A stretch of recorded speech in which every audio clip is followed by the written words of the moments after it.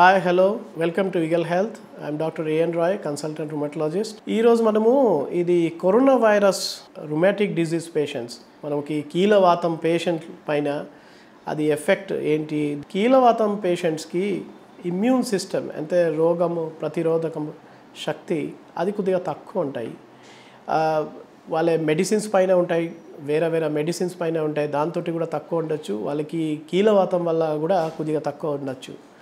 నా ఈ రెండుటి వల్ల ఇది ఇమ్యూన్ సిస్టము అంటే రోగం ప్రతిరోధకం శక్తి కొద్దిగా తక్కువ ఉంటే వీళ్ళకి వేరే వేరే ఇన్ఫెక్షన్స్ రావటము. అది బ్యాక్టీరియల్ కావచ్చు ఫంగల్ కావచ్చు వైరల్ కావచ్చు. అది ఇన్ఫెక్షన్స్ రావటం ఛాన్సెస్ ఎక్కువ ఉంటాయి. సో ఇప్పుడు కరోనా వైరస్ మీకు అందరికీ తెలుసు విషయము. ఇది బాగా స్ప్రెడ్ అయిపోతున్నాయి. మనము తెలంగాణ రాష్ట్రంలో ప్లస్ ఇండియాలో అన్నిటికీ స్ప్రెడ్ అయిపోయినాయి బాగా. సో ఇప్పుడు మీ డాక్టర్కి ఒకసారి సలహా తీసుకోండి. ఇది కొద్దిగా మీ మెడిసిన్స్లో ఏదైనా మార్పు చేయటము ఏదైనా హై డోస్ ఏదైనా మెడిసిన్స్ ఉంటే స్టెరాయిడ్స్ ఉంటే కీలవతంకి కీలవాతంకి హై డోస్ ఇమ్యూనోసప్రెసివ్ మనము పెడుతున్నాం అప్పుడప్పుడు కావాలి బట్టి.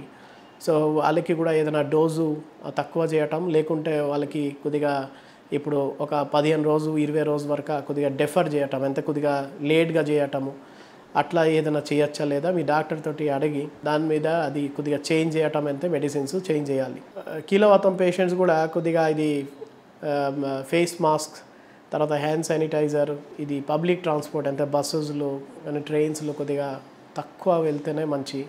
ఏదైనా అది వెడ్డింగ్స్లో దీంట్లో కూడా జనం ఎక్కువ ఉంటాయి అక్కడ కూడా కొద్దిగా అవాయిడ్ చేస్తేనే మంచిగా ఉంటాయి. అది మీరు ఇంట్లోనే ఉండండి బెటర్. అట్లీస్ట్ రెండు మూడు వారము ఇంట్లో ఉంటే బెస్ట్ ఎందుకంటే మళ్ళీ ఇన్ఫెక్షన్స్ ఉంటే మీకు ఈ కీల జబ్బు వల్ల ఇమ్యూన్ సిస్టమ్ తేడా వచ్చినాయి బట్టి మీకు సిమ్టమ్స్ ఎక్కువ వస్తాయి మీకు కాంప్లికేషన్స్ ఎక్కువ వస్తాయి. దాని గురించి చెప్తున్నాం. మీరు జాగ్రత్తగా చూసుకోండి. జాగ్రత్తగా అన్నీ ఉండంటే ఏం ప్రాబ్లం ఉండదు మీకు. ఇది కొద్ది వారమే కదా మంచి అయిపోతారు ఏం ప్రాబ్లం ఉండదు. Thank you like and subscribe Eagle Health and beauty